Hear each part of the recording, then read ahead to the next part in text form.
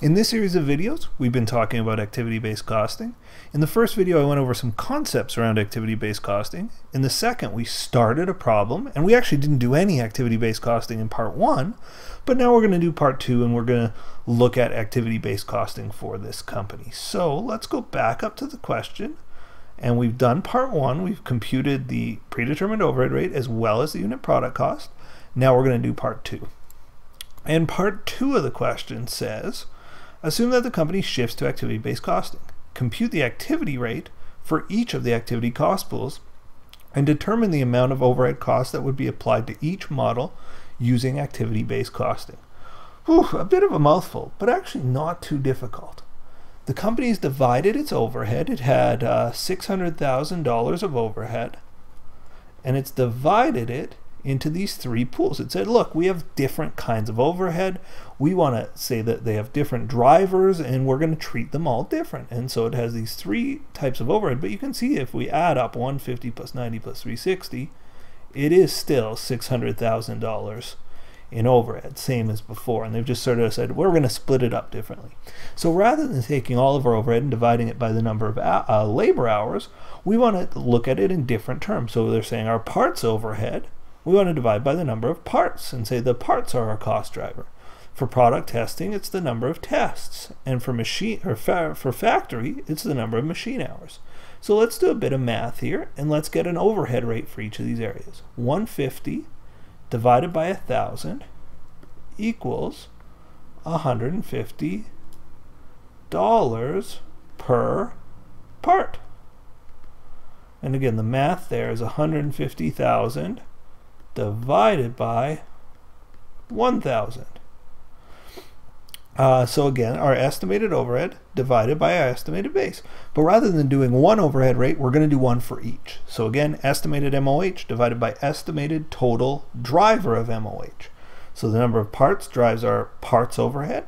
The number of tests drives our test overhead. So our overhead for tests is $90,000 divided by 500 tests, 90,000 divided by 500 is, um, hmm, I'm not sure. Let's see, 18, $180, I believe. 180 bucks per test. General factory overhead, $360,000 divided by 5,000. 360 divided by 5,000. I gotta, I gotta use a calculator. I'm gonna get this wrong. 360 divided by 5,000. I shouldn't do math in my head. It is 72. That would have been my guess, honest. $72 per machine hour. Okay, so we've computed our activity rates now. We said, okay, for parts, it's 150,000 over 1,000 parts. It's $150 a part. So if I have a job that takes three parts, I'll charge it $450. Uh, product testing, 90,000 divided by 500 tests, $180 per test. Well, if I have a product that I have to test once, that's $180, I'll charge the job. Uh, machine hours are $72 per machine hour. So rather than using one overhead rate, we're going to use three. So now, and so to answer our questions, uh, we are doing part two. It says compute the activity rate for each of the activity cost pools done, right? It's 150 per part, 180 per test, and 72 per machine hour. Uh, now it says determine the amount of overhead costs that would be applied to each model using activity-based costing. All right, so what we want to say is, okay, if the Z100 actually does, we do 250 parts related to the Z100, and the cost is $150 a part, how much of the cost will land on the Z100? It's 250 times 150. We'll do the same for the Z200. It'll be 750 times 150. And we're just going to do a big chart figuring out which costs go where. So that's our next step. That's the, the conclusion to part 2A, and we'll do it on a little blank sheet here. So 2A, and I'll just reiterate the activity rates were 150 per part, 180 per test, and 72 per machine hour. So now let's look at our Z100 and our Z200. and our Z100 had 250 tests.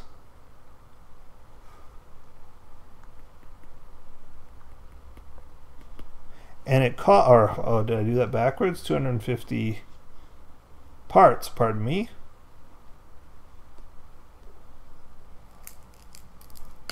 Erase that.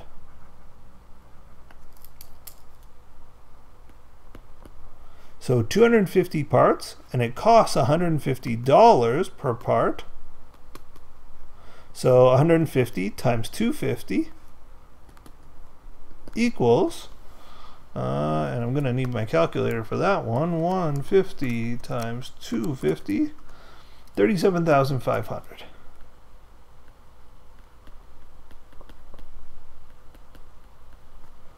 Now for our Z200, we said we had 750 um, parts. So I'm going to multiply 150 times 750. So 150 times 750 equals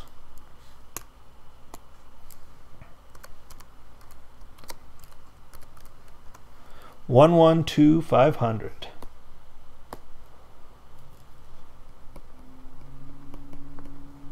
Alright, so, so far so good. Now let's do it with our tests. We're just going to say, okay, it's 180 bucks a test, and we're going to do uh, 350 tests.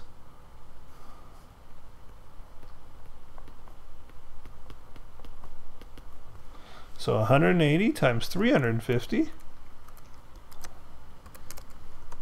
is 63,000. And for the Z200, it took 150 tests.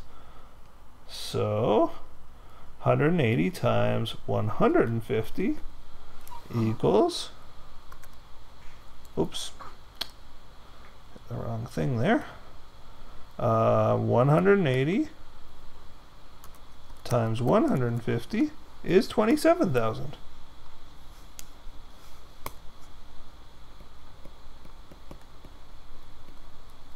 $72 per machine hour.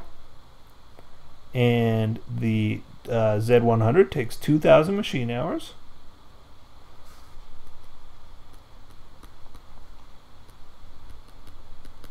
So 2,000 times 72. I think it's 144,000, but I'm feeling insecure.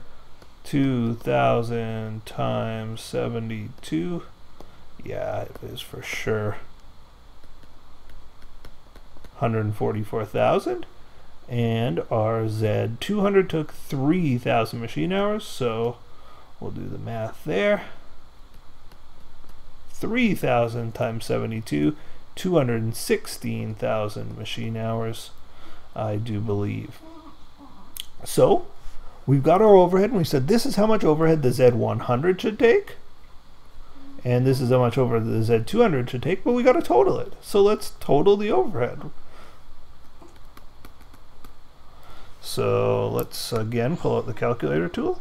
37,500 plus 63,000 plus 144 equals 244 500. Um, doing the other side of this, oops, come on you, 112 500 plus 27,000 plus 216,000 is 355,500. And a little trick you can do here is just add these up and they should total our estimated overhead. Oops, I always put in numbers up here. I'm not supposed to be doing that. I want to put them in here. So let's do a bit of math.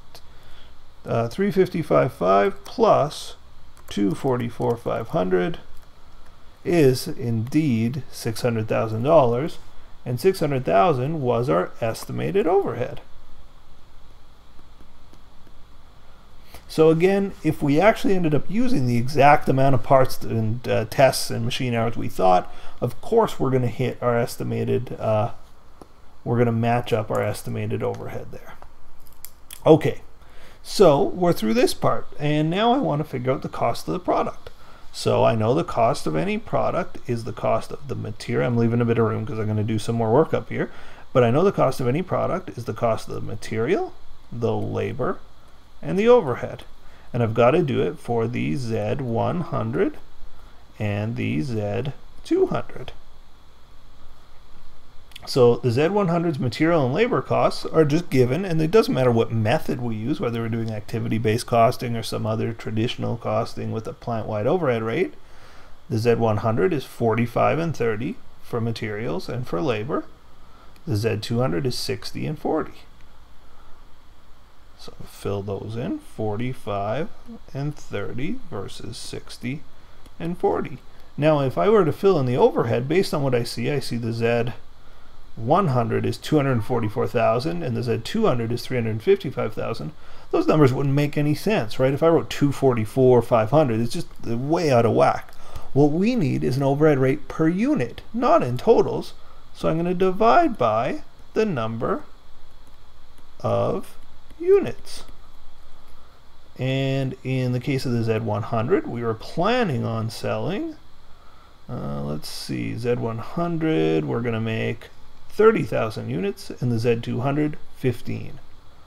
So for the Z100, I'll divide by 30,000 units, and for the Z200, 15,000 units.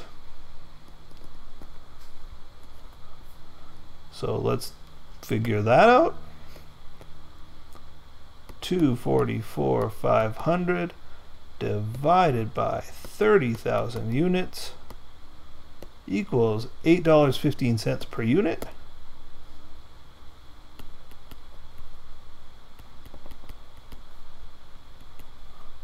And for the Z200, 355, 500 divided by 15,000 units equals 23.7, $23.70.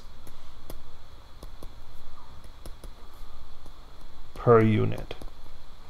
So when I add these together, or when I combine these into my uh, chart here, $8.15 per unit of Z100, $23.70 per unit of Z200.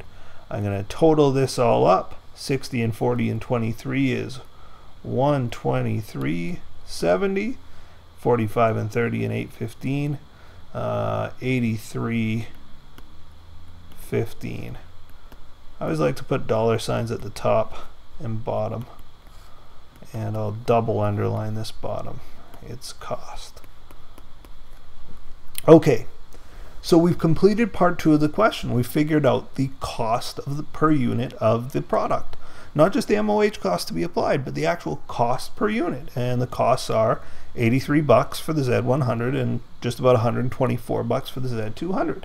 Now what you find here is the numbers are different, right? The Z200 under traditional costing only cost us 116 and the Z100 only cost us or cost us 87. Now the Z100 costs us less and the Z200 costs us more under activity-based costing.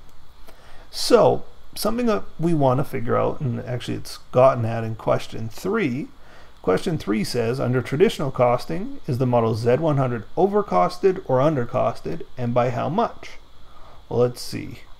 Under traditional costing, the Z100 costs 87 bucks. Under activity-based costing, it costs 83 bucks. So under traditional costing, costing 87 bucks, I would call that overcosted. It costs about $4 too much. So under traditional costing, we would say that the Z100 is over costed and the amount is actually not four bucks but it's 385 and that's just the difference between 87 dollars and 83.15 87 minus 83.15 is three dollars 85 cents uh, now let's let's answer the next part of the question. Under traditional costing, is the Z200 overcosted or undercosted? By how much? Well, the Z200 costs 116 under the uh, old method, and 123.70 under the new method. The difference is $7.70. I've got to say, is it overcosted or undercosted under the old method? Well, it was 116 before. We do the new, more accurate method. It's 123. The Z100, or Z200, pardon me. Let me erase that.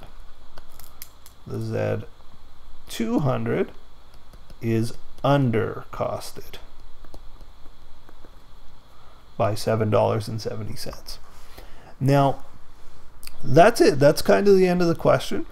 If company has a really miscosted product, it's going to result in some bad decision making, right?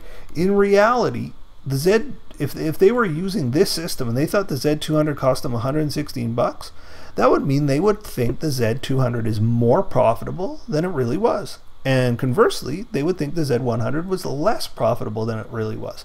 And that has real world implications. If you're the product manager of the Z100, your profits are actually going to Z200. You're you're subsidizing the Z200 and vice versa. If you're the Z200, you're being subsidized by the Z100. So if you're being evaluated on your profitability or how well your division's doing, the Z100 is uh, getting hurt by the Z200 in, under this scenario. Uh, it can also affect a pricing decision. You know, we could misprice a product, uh, but having wrong cost information is really alarming and really problematic. Um, now, again, in if, most real companies use this method, this method, the traditional one overhead rate method, and you might say, well, why? If activity-based costing is so much uh, like gives you so much more accurate numbers, why doesn't every company use it? Well, the reality is the amount of information you have to gather for activity-based costing makes it very expensive very time consuming and it's actually very difficult to do. It's easy to do in these accounting problems where we have all the information at our fingertips. In reality, there's a lot more information to be gathered. So most companies don't do activity based costing. I think it's a good exercise and it's good to understand what's happening, but just know in reality, most companies use one plant wide overhead rate uh, to apply overhead costs to uh, products. Okay, we're going to leave activity-based costing there. I, I, hope this video was helpful to you. Uh, that's it for this time. Uh, and stay tuned for our next batch of videos.